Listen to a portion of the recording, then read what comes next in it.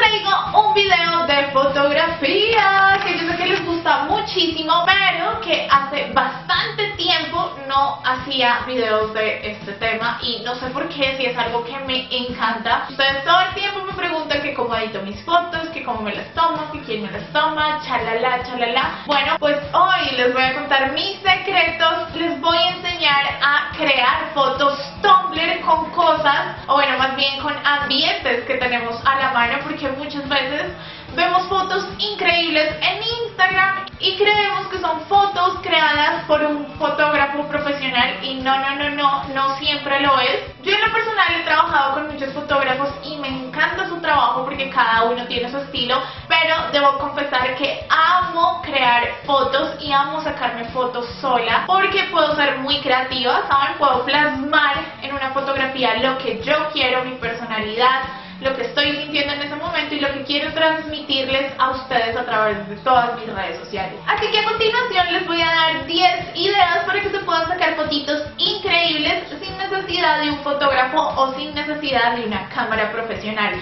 Simplemente vamos a necesitar nuestro teléfono.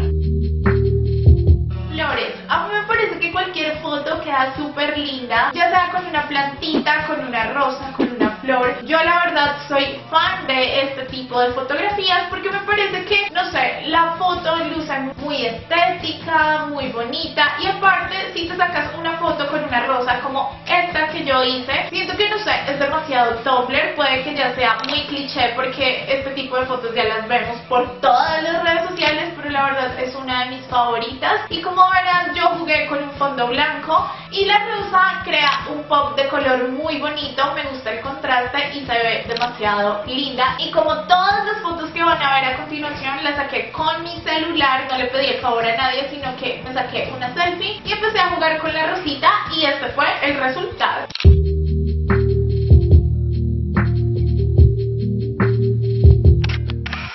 Juega con las sombras, ya sean las sombras de una ventana, de una persiana, de una plantita, hay que ser bastante creativos a la hora de sacar fotos y es que sí, ese simple juego de luces, de contrastes, de sombras van a hacer la diferencia en una selfie. No va a ser lo mismo si te sacas una selfie así enfrente de tu ventana que si juegas con este tipo de sombras. Le va a dar una textura y un estilo muy bonito a la foto. En este caso yo lo que hice fue jugar con las sombras de una palmerita que yo tengo en mi sala. Lo que hice fue, bueno, lo que hice no porque la palmera está justo detrás, como verán, está al lado de una ventana, entonces estaba pegando todo el rayo del sol y yo simplemente salí a la sala y dije como, ok, acá dónde me puedo sacar una foto que se vea. Y vi la sombra de la palmerita y lo que hice fue situarme detrás de ella y este fue el resultado.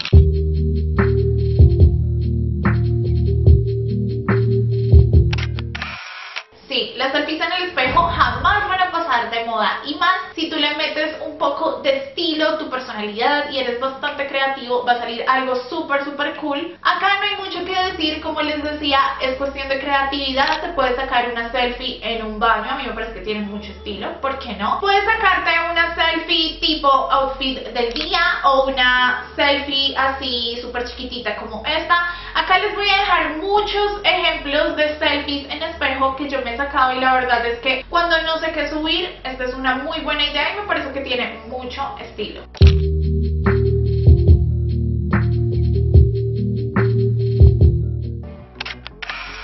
ustedes me siguen en mi Instagram, creo que ya me conocen y saben que soy amante de los gatos. Yo tengo tres gatitos en estos momentos. Y bueno, yo amo sacarme fotitos con ellos porque me parece que tienen demasiado estilo, son muy tiernos, los amo y, me encanta que todo el mundo los conozca. Así que cuando los veo por ahí durmiendo o veo que están en una pose linda, lo que hago es sacar mi celular y aprovecharme de su belleza y sacarme unas cuantas fotos. La mayoría de mis amigos dicen que mis gatos son súper fotogénicos, que son muy posudos, que parecen modelos. Y no, yo pienso que es cuestión como de captar el momento justo, el momento exacto. Tengo una amiga que tiene una gata y dice como, a mí nunca me salen esas fotos así. Yo creo que si tú coges a tu gato, en especial los gatos que son un poco como más esquivos, si coges a tu gato y lo fuerzas, va a salir una foto, no sé, muy forzada, el gatito se va a ver incómodo, se va a ver bravo a quedar cool. Lo ideal es esperar que ellos estén muy tranquilitos en su marcador en su gimnasio o que estén dormiditos y tú te acercas, tomas una foto y ya está. Cuando le estés acariciando, que él esté muy cómodo, ahí puedes aprovechar ese momento y sacarte una selfie con tu gatito. A mí en lo personal me encantan este tipo de fotografías, me parecen muy muy lindas, están llenas de amor y se ven demasiado cool y muy Tumblr.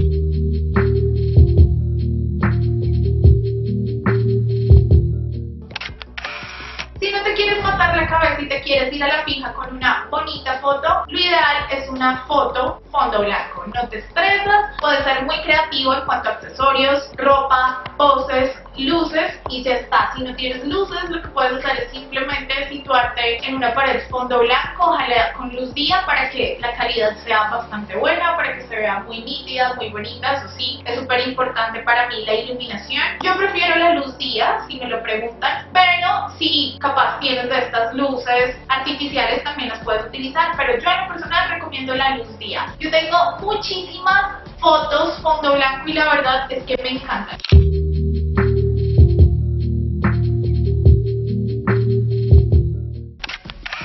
Así es, foto en el baño. No me hagan esas caras, el que esté libre de pecado que tire la primera piedra. Creo que acá todos nos hemos tomado una foto en un baño. La verdad es que yo soy fan de este tipo de fotos, aunque no me lo crean, de mis fotos favoritas son en el baño. Aquí les voy a dejar algunas ideas que he sacado. En el baño me parece que saben bastante bien, no necesariamente tienen que ser selfie en el espejo, sino que hay que jugar con los ángulos, perspectivas, pueden mirar imágenes o referentes en Pinterest de fotos en el baño y ya está. Les va a aparecer un sinfín de ideas, de inspiraciones ustedes pueden coger y aplicar en sus fotitos.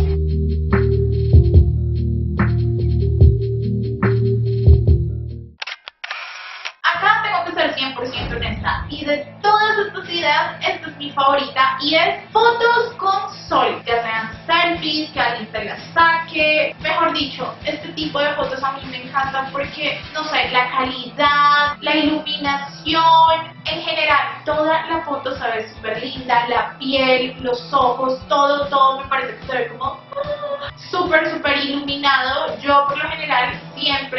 Tomo selfies bajo el sol y me encanta porque resalta todo mi maquillaje, mi highlight. Acá les voy a dejar algunas ideas para que ustedes se inspiren y se animen a tomar muchas, muchas fotitos. Igual, reitero, pueden buscar inspiraciones y referentes en Pinterest y ahí les van a aparecer fin de ideas que ustedes van a amar.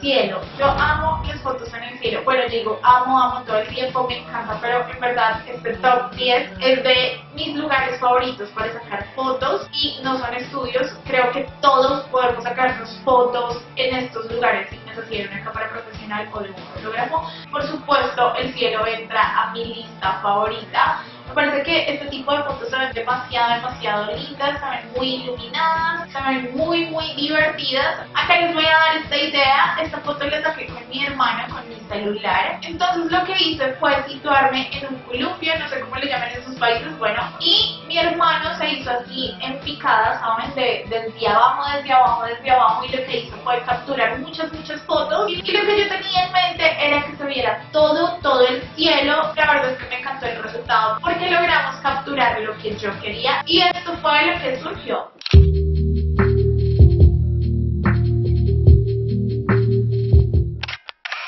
Un lugar tan simple como tu dormitorio o tu cama puede funcionar para un sinfín de fotos increíbles. Yo la verdad me he sacado muchas fotos en mi cama. Por lo general trato de que el ambiente, ¿saben? El fondo de la foto se vea súper limpio. En estos momentos mi feed es blanco, así que trato que todo, todo sea como muy limpio, muy blanco, para que vaya todo de acuerdo a la temática de mis redes sociales.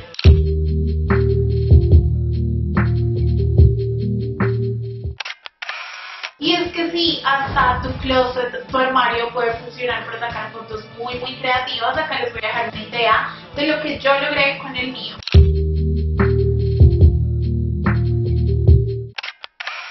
Y bueno, mis amores, eso ha sido todo por hoy. De todo corazón espero que les haya gustado y lo más importante que les haya servido este video. Si se animan a recrear alguna de estas ideas, por favor no duden en enviarme su fotito o en etiquetarme. Todas mis redes sociales van a apareciendo por aquí en pantalla. También te las estaré dejando aquí abajito en la cajita de descripción para que estemos en contacto. Mientras no estoy haciendo videos, oigan, les quiero contar que en mi Instagram TV estoy publicando videos semanales de moda, DIY, maquillaje, todo ese tipo de cosas que ustedes saben que a mí me encanta. Así que por allá también hay contenido, no se lo pueden perder, espero que me sigan, de verdad. Así que por allá los espero. Déjame saber aquí abajito en la cajita de comentarios cuál fue tu idea favorita, tu foto favorita. La verdad es que este es mi top 10, yo amo todas, todas, todas estas fotos. También me gustaría saber si les gusta este tipo de videos. Si es así, no olviden regalarme un like, en verdad se los agradecería con todo mi corazón. De esta manera voy a ver que a ustedes les gusta este contenido y por supuesto lo estaré haciendo más seguido. No sé si quieran ver ideas de cómo edito mis fotos, ideas creativas para hacer fotos súper, súper cool con aplicaciones como PixArt y bueno, las aplicaciones que yo utilizo de edición para tener mis fotos muy, muy Tumblr. Y ahora sí, no siento más por hoy, me despido, les mando un besito gigante y un abrazo parte costillas y por supuesto, ustedes y yo nos vemos en un próximo video. Bye!